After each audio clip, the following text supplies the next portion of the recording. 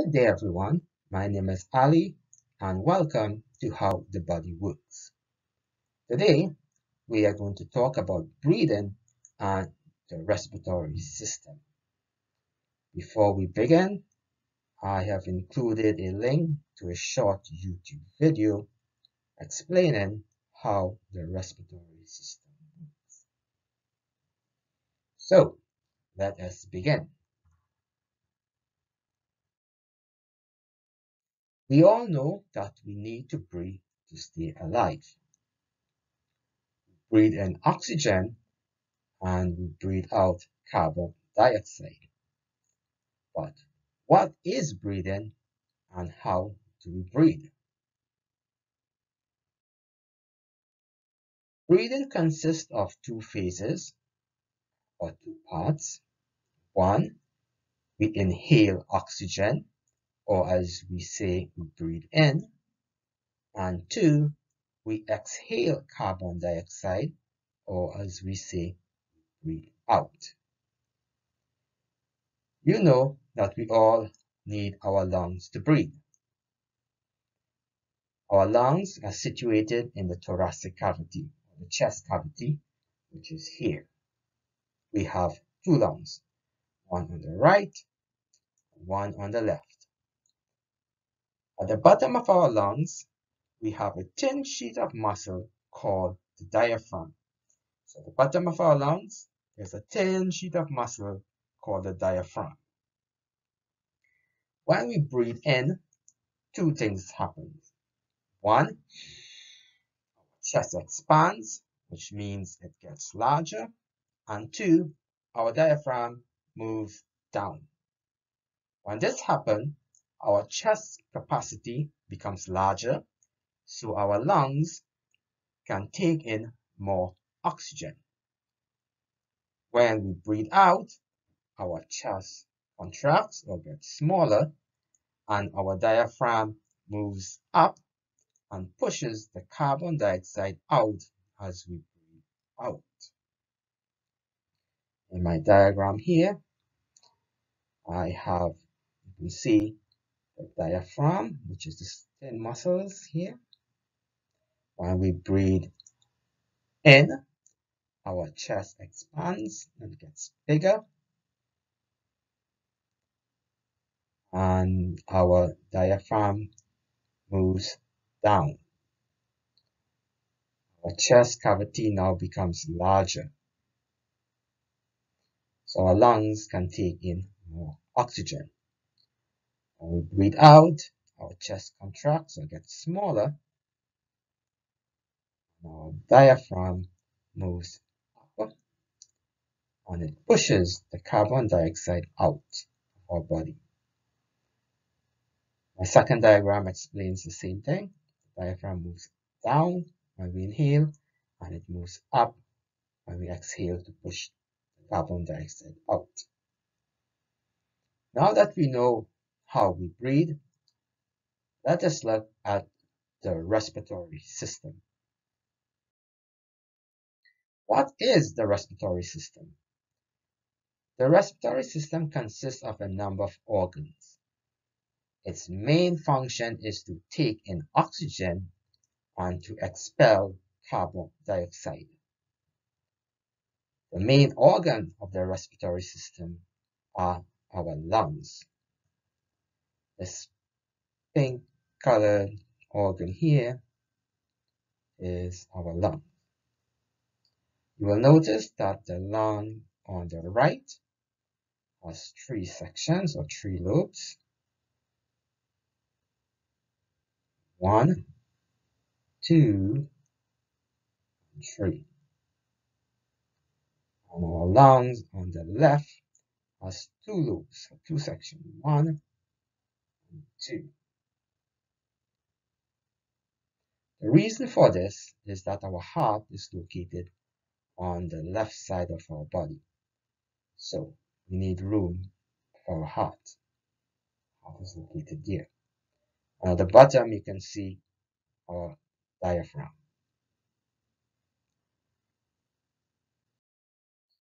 Now let's look at the parts of the respiratory system.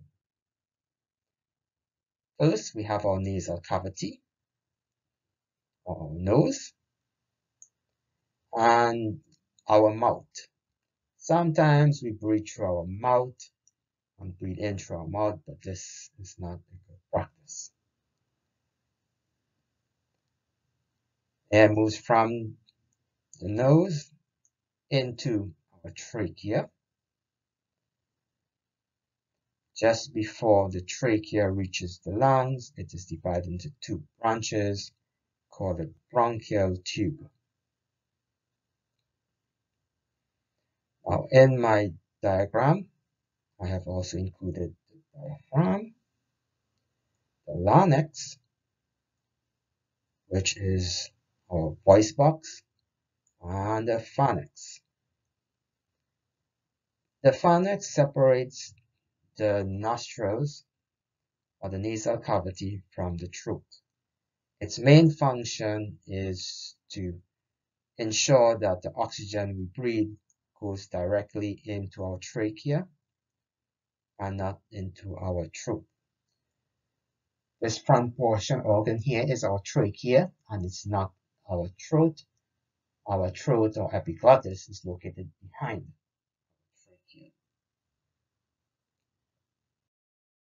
Now, what happens when we breathe? We take in air through our nose. This is our nasal cavity. The air passes through our sinuses, the frontal sinus and the sphenoid sinus. The main purpose of our sinus or the main function of our sinus is to regulate the temperature and the humidity of the air. In other words, it makes the air comfortable for us to breathe. It is not too cold and it's not too dry.